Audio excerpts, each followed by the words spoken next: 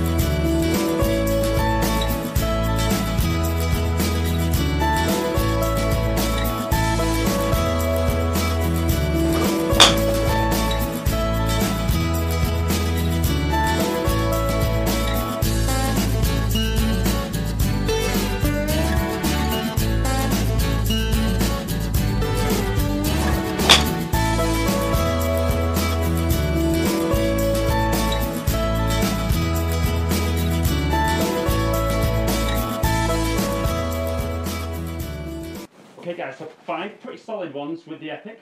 Let's switch over to TaylorMade with the M2. So, you like the feel of Epic? And I think that the feel and the sound is very different with the TaylorMade to the Callaway. Obviously completely different look. But, try and get five good ones with this and see how they stack.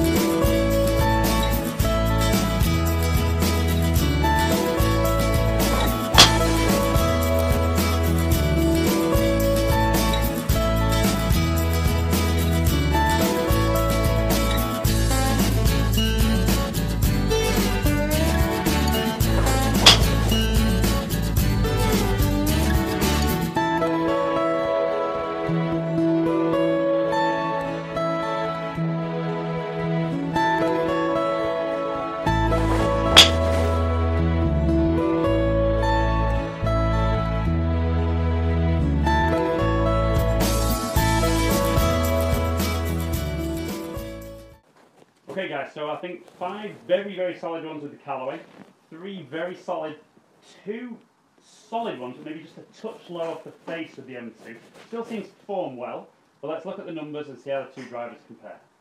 Okay guys, so we look at the numbers between Epic and M2. So ball speed identical at 155.3. We're looking at launch angle just a touch lower on M2, but maybe a couple of stripes just a little bit lower on the face. Backspin 2,400 against 2,500, so nothing in it. 32 yard peak height against 28, which again for me the, the slightly lower strikes with the M2 took that down. But average carry 266 against 259 and 290 against 284. Clear winner. Okay guys, so we've looked at the numbers and surprise surprise, when these drivers are set up in the same way, struck in a very similar fashion, the performances are almost identical. And certainly for the five shots I've hit with each, and the distance I'm hitting the ball, we're talking tiny percentages in difference, but there was a winner, and today's winner was the Callaway Great Big Bertha Epic Driver. So like I said guys, this was more aimed for the guys who maybe don't spin it enough. I know a lot of guys are looking for the Sub-Zero and the M1, but for the drivers that don't spin it, uh, that need a bit more spin, both of these are great options. As ever, the key for you guys is to get fitted. You know, make sure that you've got the right loft, the right shaft, the right setup of the head. Get somebody who's qualified, who knows what he's doing, on a launch monitor to give you some feedback. As ever though guys, really hope you've enjoyed the video. Thanks for watching, do appreciate you taking the time. Follow me on all the social media platforms. Subscribe to my channel if you don't already. Hopefully catch up with you guys down in the future. Stay in contact.